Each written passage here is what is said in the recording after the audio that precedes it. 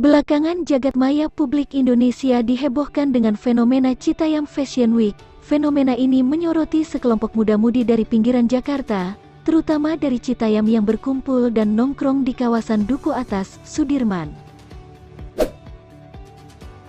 Bahkan sampai dikatakan unik, karena mereka datang dengan penampilan yang unik dan berwarna-warni, sementara istilah Citayam Fashion Week pertama kali dipopulerkan oleh akun TikTok @radita.pradana. Menariknya fenomena ini sampai terdengar di negeri samurai yang menyoroti Citayam Fashion Week. Media Jepang yang menyoroti fenomena ini adalah Tokyo Fashion. Melalui akun Twitternya, Tokyo Fashion justru memberikan dukungan pada muda-mudi Indonesia. Bahkan Tokyo Fashion meminta sejumlah situs dan akun Street Snap Indonesia mendokumentasikan dan mendukung mereka. Media tersebut menyebutkan media sosial menjadi wadah yang tepat untuk mempromosikan mereka. Tak cukup sampai di situ yang menarik dari sorotan Tokyo Fashion adalah mereka juga membandingkannya dengan kelahiran State Fashion Harajuku.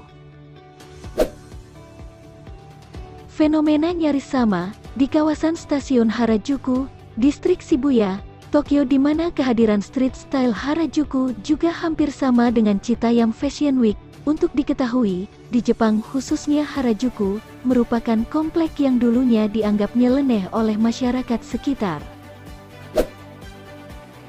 Namun, seiring berjalannya waktu, gaya Harajuku diterima bahkan menjadi kiblat style di seluruh dunia.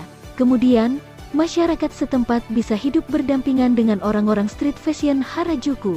Menariknya, street style Harajuku juga mulai dibiarkan oleh polisi Jepang, selama tidak berkelompok dalam jumlah besar, minum-minum di jalan, mengganggu lalu lintas, atau melakukan sesuatu yang mengganggu, kata Tokyo Fashion.